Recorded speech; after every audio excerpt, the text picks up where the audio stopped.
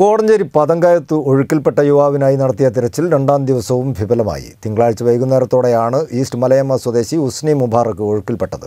കനത്ത മഴയും മലവെള്ളപ്പാച്ചിലും തെരച്ചിലിന് തിരിച്ചടിയാവുകയാണ്. ഫോട്ടോ എടുക്കുന്നതിനിടെ കാൽവഴുതി പുഴയിൽ വീണ വിദ്യാർത്ഥിയെ ചൊവ്വാഴ്ച നടത്തിയ തെരച്ചിലും കണ്ടെത്താനായില്ല. ഇരുവഴിഞ്ഞിപ്പുഴയിലെ നാരങ്ങാത്തോട് പതങ്കയത്ത് വെച്ച് തിങ്കളാഴ്ച വൈകുന്നേരം ആറു മണിയോടെയാണ് അപകടം നടന്നത്. ചാത്തമംഗലം ഗ്രാമപഞ്ചായത്തിലെ ഈസ്റ്റ് മലയമ്മ പൂലോത്ത് നിസാറിന്റെ മകൻ ഹുസ്നി മുബാറക്കാണ് ഒഴുക്കിൽപ്പെട്ടത്. തിങ്കളാഴ്ച വൈകുന്നേരം കൂട്ടുകാരനോടൊപ്പം സ്കൂട്ടറിൽ പതങ്കയത്ത് പുഴയിലെ വെള്ളച്ചാട്ടം കാണാനെത്തിയ ഹുസ്നി മുബാറക്ക് ഫോട്ടോ എടുക്കുന്നതിനിടെ പാറയിൽ നിന്ന് കാൽവഴുതി പുഴയിൽ വീഴുകയായിരുന്നു. കോടഞ്ചേരി പോലീസും മുക്കം അഗ്നിരക്ഷാ സേനയും വിവിധ സന്നദ്ധ സേനാംഗങ്ങളും സ്ഥലത്തെത്തിയെങ്കിലും പ്രതികൂല കാലാവസ്ഥ മൂലം തിങ്കളാഴ്ച കാര്യമായി തെരച്ചിൽ നടത്താനായിരുന്നില്ല. തുടർന്ന് ചൊവ്വാഴ്ച രാവിലെ എട്ട് മുപ്പത് മുതൽ മുങ്ങൽ വിദഗ്ധരെ ഉപയോഗിച്ച് തെരച്ചിൽ നടത്തിയെങ്കിലും വിദ്യാർത്ഥിയെ കണ്ടെത്താനായില്ല. മുക്കം ഫയർഫോഴ്സും കോടഞ്ചേരി പോലീസും വിവിധ സന്നദ്ധ സംഘടനകളുടെ പരിശീലനം ലഭിച്ച അംഗങ്ങളുമാണ് തെരച്ചിൽ നടത്തുന്നത്.